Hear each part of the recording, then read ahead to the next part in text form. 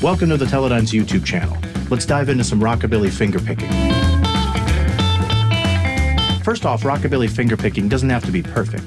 The two methods I have found to be the most practical are using the pick and the fingers, or tucking the pick up in the index finger. When playing with the pick and the fingers, the pick will always be there to go right into flat picking. However, the advantage of tucking the pick up in the index finger is that it gives you a little bit more stretch between your thumb and your middle finger. This way you can easily reach between the low strings and the high strings. But it can also take a little while to get used to tucking the pick up and bringing it back down and being able to do so fast enough so you can easily transition from finger picking to flat picking. We'll start off with a basic 12 bar blues in A with a rockabilly swing.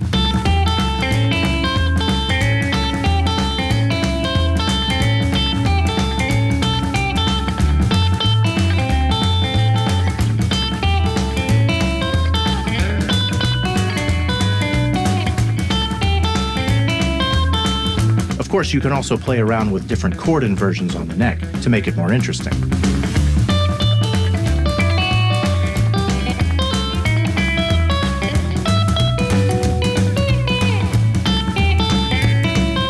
Fingerpicking in rockabilly doesn't really have any strict rules. Playing rockabilly at times kind of feels like a bunch of different root styles all thrown together, at least from a guitar playing perspective. So one way to play is over the A7 bar chord shape. That's kind of a standard rockabilly phrase you hear. It's played over the course of two bars.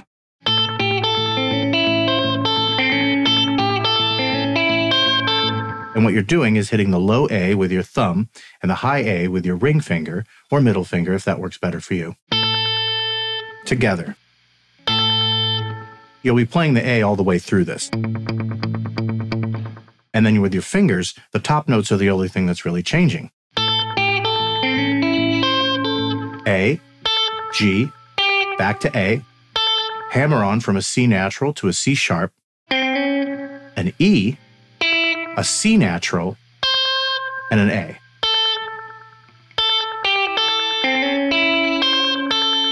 And then when you get the thumb in there,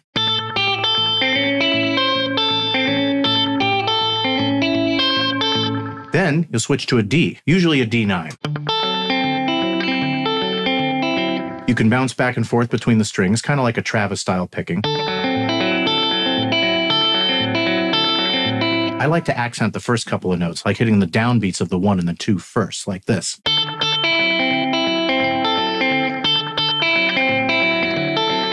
And then back to the A. So then with the E, same thing. And this is kind of a good pattern to get familiar with finger picking like this. And you can use it in any key, and you can also play around with the notes.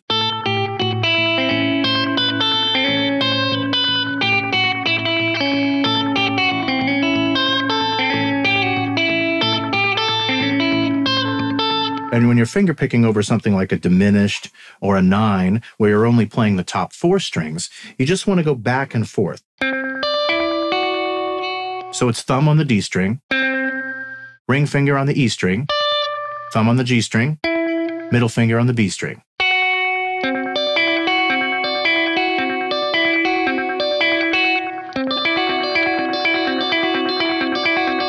You can bounce the bass note back and forth too once you get a little bit more comfortable with it.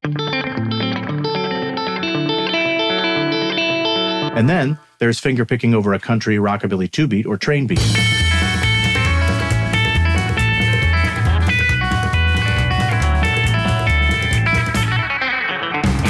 Course, with this kind of a feel, you're going to be picking a little faster. So it might take some time to build up the speed so your fingers don't fatigue. Now, usually with this one, you don't really want to hit the G. You'll hit the A, F sharp, and still do the hammer on.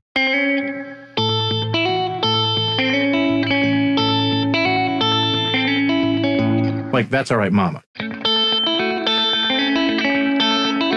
And of course, when you're picking with your fingers, you can also switch into comping mode too, real quick.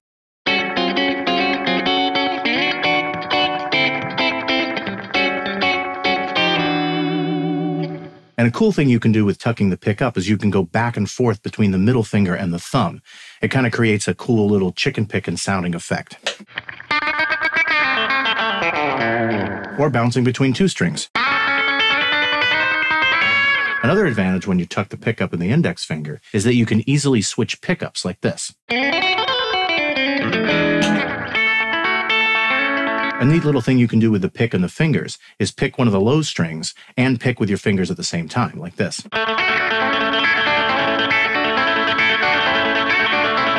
Kind of a Danny Gatton kind of thing. Plus, I just love the sound you get from popping the strings with your fingers.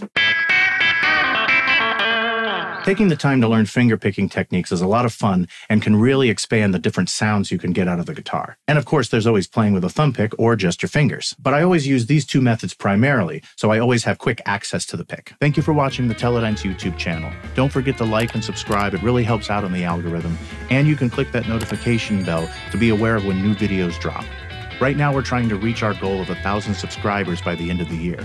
So if you want to help the band or the channel, the best thing you can do is hit that subscribe button. It doesn't cost a thing, and it means a whole lot to us. Thank you guys again, and we'll see you next time.